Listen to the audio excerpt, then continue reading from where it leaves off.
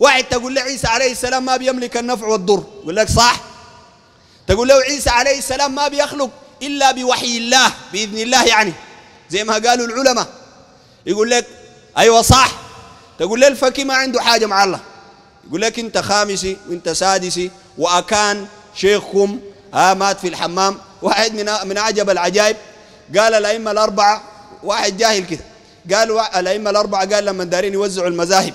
قال الرسول جاي يوزع عليهم وإن جاب الإمام مالك على النبي صلى الله عليه وسلم في عهده. يا أخي الناس دي مسكينة والله. شو الخرافات دي كيف؟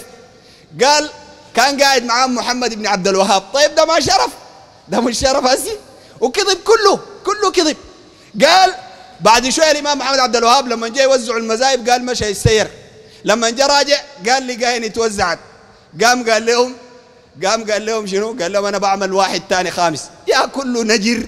يا ناس ده شنو ده؟ كله كذب ساكت. والشيخ محمد بن عبد الوهاب رحمه الله حنبلي تابع للإمام أحمد بن حنبل ما عمل له مساب براو. فهمت؟ لكن لما تجي تقول له العقيدة تلقى واحد يقول لك المالكي طريقة أو المالكي مذهبا. الأشعري عقيدة السماني أو التجاني طريقة. ليه ما تبقى مالك في العقيدة؟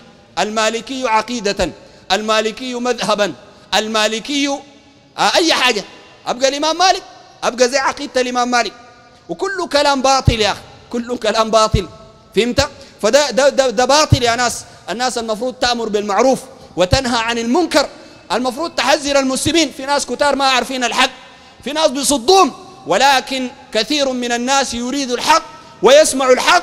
فالواجب على الناس أن يبينوا هذه الأمور للناس وأن يحذروا المسلمين حتى لا يقعوا فيما وقع فيه اليهود والنصارى. والبيحصل ده ده مصداق قول النبي صلى الله عليه وسلم لتركبن سنن من كان قبلكم. شبرا بشبر وذراعا بذراع حتى لو دخلوا جحر ضب لدخلتموه. قالوا اليهود والنصارى قال فمن؟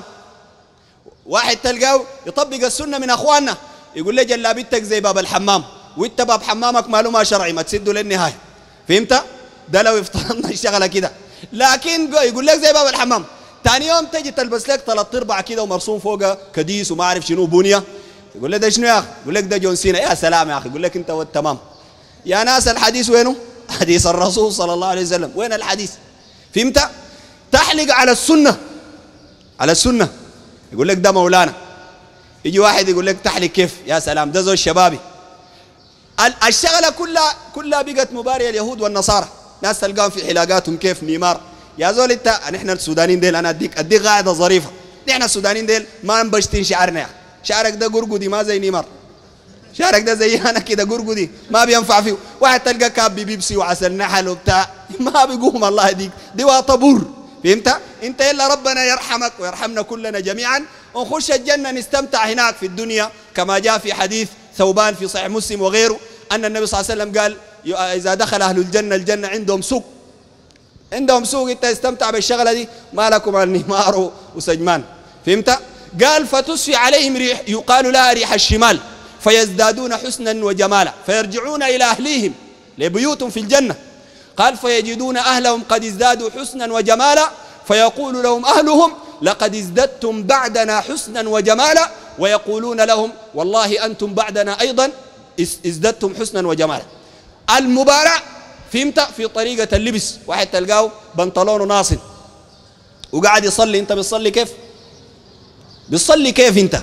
مش من من شروط الصلاة. ستر العورة. واحد تلقاه واقع عليه هنا؟ قاش ما عندك؟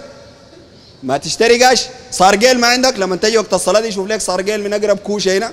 أو كيس بلاستيك أو حاجة. خلي صلاتك تمش فهمت؟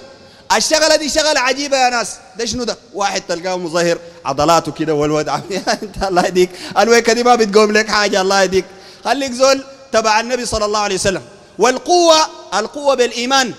ربنا قال وأعدوا لهم ما استطعتم من قوة. ما مشكلة أرفع حديد ما حرام.